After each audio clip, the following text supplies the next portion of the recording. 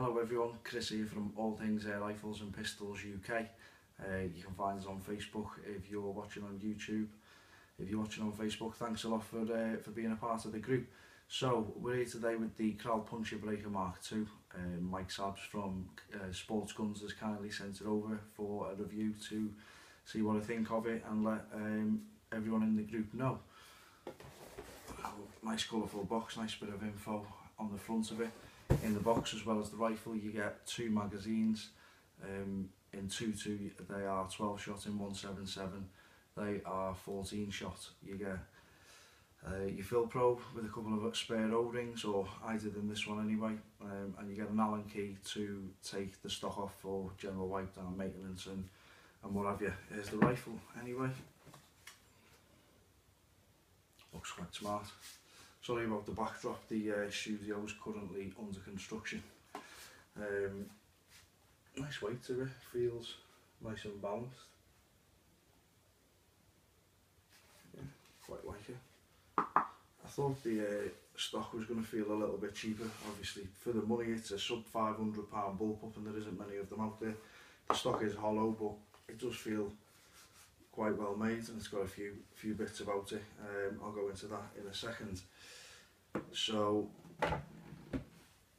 um, 73 centimetres long and weighs 3.45 kilograms. The air cylinder on it's 230cc and um, Kral claim that you get 120 shots per fill. I don't usually run run my rifles right down to needing a, a refill anyway. Uh, I usually shoot what I need to shoot um, and fill it up the next time I'm going out or fill it back up there and then. Uh, I believe the Mark, from the Mark 1 it's been vastly improved, the hammer system and the valve system. I won't go into too much detail about that uh, because I'm just going to give you a user-friendly overview of the Mark II and what's on offer for you right now for your money. Um, so, the as I say, there's a few improvements, but we won't go into too much about it. Um, I'm going to put on it a BSA VC silencer, uh, and I'm going to use a Nikko Stirling Mountmaster 3 to 9 by 50 AO. Um, I'll just give you an overview of the rifle front to back before we go into the next part of the video. So rubber butt pads on the end, unfortunately it's not adjustable but I usually change my butt pads anyway. Uh, you get an adjustable cheek piece made out of uh, same material as the stock, manual safety and a side cock and lever. The magazines slot in here and they go from right to left. And on the back of the magazine there's a little ridge just to keep your magazines in place. Uh, power adjuster, it goes from 8.5 foot pounds up to 11 and a half ish uh, under the UK legal limit. Um, you've got a weaver rail and a half inch UNF thread on the end of the barrel that comes with a muzzle brake but you can put most of your um, sought after silencers like your, your HWs and your Huggetts and what have you. Um, just on the end of the air cylinder is a pressure gauge, very handy. Back to the stock. On the end of the stock you've got a little compartment which is very handy. Obviously you get two magazines so you can pop your spare magazine in there. And just under the fore end is a threaded piece to put a weaver um, rail on there to put your like your Atlas style bipods and what have you. And just under the pistol, uh, just under the grip is your hole for the Allen key to slot in to take the stock oops, for your general maintenance.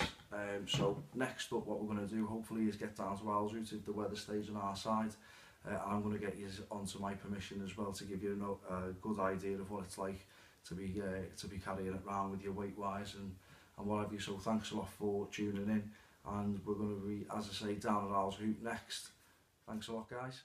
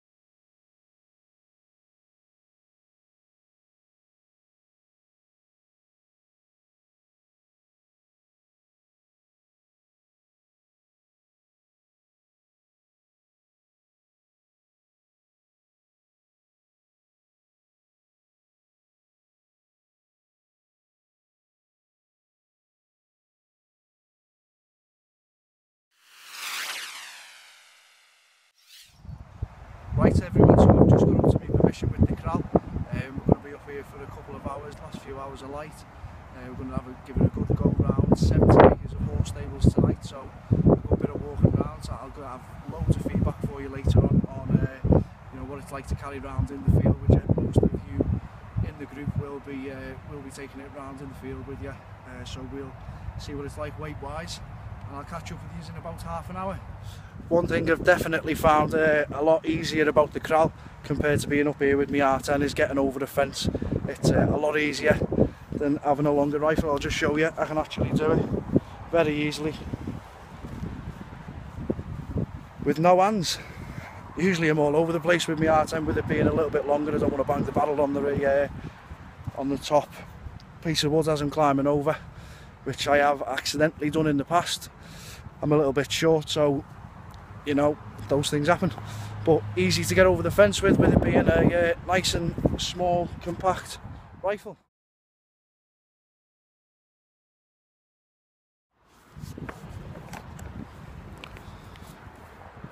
Hello everyone, just checking in again. Um, we're about an hour and 20 minutes into my trip into the permission tonight still carrying the Kral round with no problems as you can see it's no sling on it. I'm carrying it round just in my hands. I thought I'd get the camera back out to let you know how I've been getting on. Um, I'm just going to stop here before we move into the next paddock because I know there's quite a bit of activity up ahead. So like I say we've been out for about an hour and 20 minutes now with the Kral it's um, it's really light my arms are usually dead if I'm carrying my rifle round my R10 without the sling. So it's only 3.45 kilograms, really nice and comfortable to carry around. With it being a bullpup, nice and compact, fixed in your arms really well to be uh, to be walking around and staying quiet as I should be up here. I'm making a little bit more noise than I should, but I did want to give you a bit of a different review on a new rifle as opposed to uh, a full one at home unboxing and going through all the ins and outs of the rifle. Um, brilliant to carry around with me up to now. I've absolutely loved it if I was in the market for a PCP rifle for about £500 or uh, a bullpup and I was on a bit of a budget, I'd 100% be considering this rifle. Um, so we will have a round up back at home after the end of my trip and I'll give you uh, my overall opinion on the Kral, what I think of it and any bits that I've missed off earlier in the review. So thanks for watching and I'll see you back at home.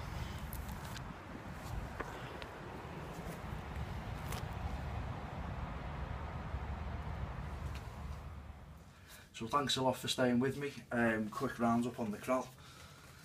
So we were down at Alzoot, I tried a few different pellets out. Uh, doesn't really like the cheaper end of the spectrum, RWS um, and Webley Archipels. Uh, settled on JSB, as you can see in the photo earlier on um, and the video. I've got a really good grouping, less than a one pence piece. Um, I'm in the market for a bullpup myself. I haven't got a great deal of money and for under, five, under 500 pounds I'm absolutely made up with it so I think I'll definitely be going for the corral um, thanks a lot for Mike to sending it over.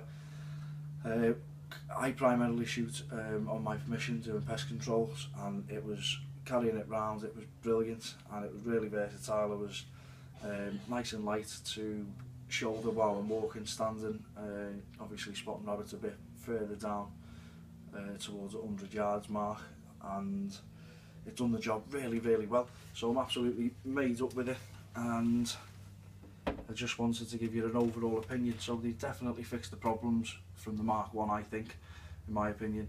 I got really good groupings from it straight away. It was really comfortable, really light, got on really well with it. I would give it an overall score of about um, 8 out of 10. So thanks a lot for watching. As I say, you can find us on Facebook. I'll put links in the description to the Sports Guns page and website, also the Facebook page, and hopefully speak to you on the Facebook group. Thanks a lot, guys.